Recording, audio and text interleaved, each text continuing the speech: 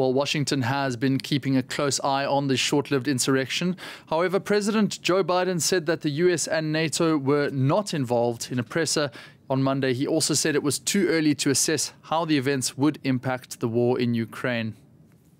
The situation began to develop as it did. I directed my national security team to monitor closely and report to me hour by hour. I instructed them to prepare for a range of scenarios. I also convened our key allies on a, on a Zoom call to make sure we were all on the same page. We agreed, they agreed with me that we had to make sure we gave Putin no excuse. Let me emphasize, we gave Putin no excuse to blame this on the West or to blame this on NATO. Well, helping us understand the wider global perspective of that attempted mutiny, I'm now joined by Kristine Berzina, Managing Director at the German Marshall Fund of the United States. Uh, Christina, we've heard from many countries that this is an internal affair in Russia. What's the strategy there? I think it's really important for this not to be seen, as President Biden uh, just said, as some kind of interference by the West in Russian affairs. Uh, it has been very interesting to watch how uh, Prigozhin has shaken the foundation of the Putin regime and shown the fact that it is potentially vulnerable.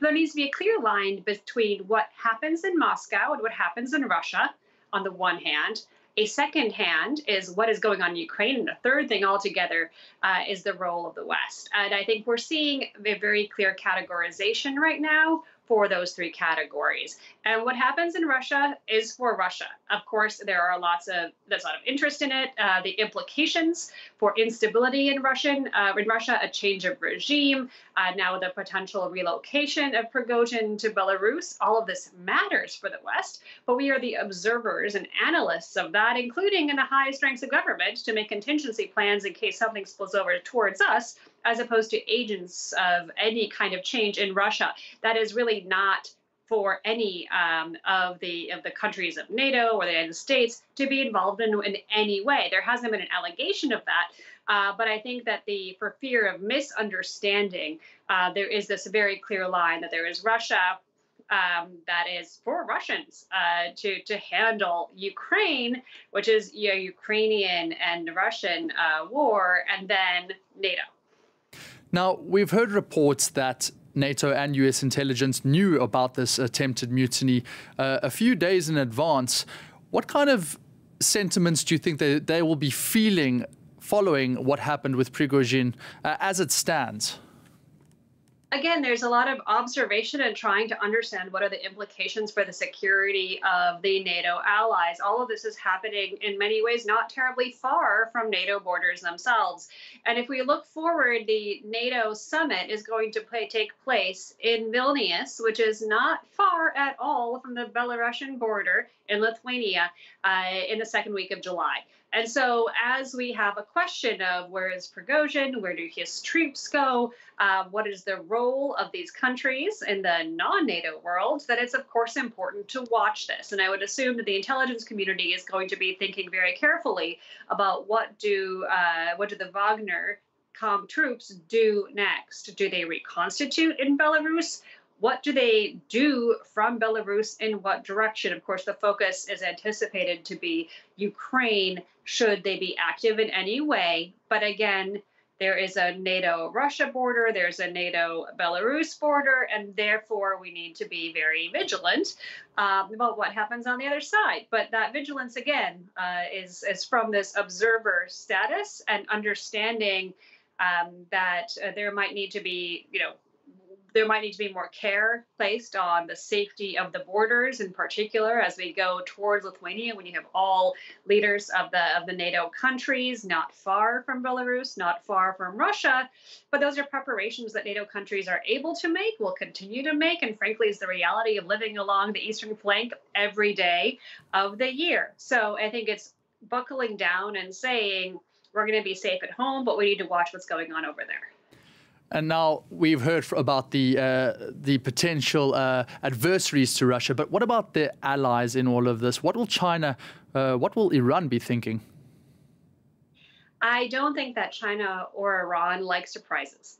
Uh, and so I think that an asset from the from Beijing's perspective for having Russia as a partner is in many ways the predictability of the Russian regime, or at least that is the um, you know that that could be perceived as one of the strengths of a strongman autocratic system like the one that Russia has. You have a guy, you know the guy, you can figure out what happens. They won't surprise you. Now, the lack of a uh, the success of the special operation, as Putin calls it, the invasion of Ukraine uh, last year, and the quagmire it has become was one unhappy surprise. Now, there's the assumption that Putin regime's uh, Putin's regime is incredibly strong and stable having this uh, Prigozhin shakeup is probably an incredibly unwelcome surprise to Beijing because if there's one thing they thought they could count on, it's the fact that Putin's going to be there until he chooses not to be there or, you know, old age tells him he can't be there anymore. Uh, so this again is an unwelcome surprise, uh, and I think that could make the partners in China less enthusiastic about this friendship they have struck up, and that bears a lot of risk for them in terms of sanctions or their relationship with uh, Europe, with the United States, and partners around the world. And finally, a last question on Wagner. Uh, a lot of what Putin said today almost pointed towards a dismantling, saying that they could either go to Belarus or they could join the army. Uh, what would a dismantling mean on the international stage for Wagner? This is a very good question. Wagner, right now, we're looking at them in Russia and Ukraine, but that's not been their traditional footprint. Uh, from the Central African Republic to the role in Syria, they have an incredibly global footprint and have been accused of significant atrocities around the world, especially in Africa and Syria. To have them no longer active, in these countries um, would potentially change the uh, security dynamics, the stability um, of these ongoing conflicts uh, around the world. And that is something, of course, to keep an eye on.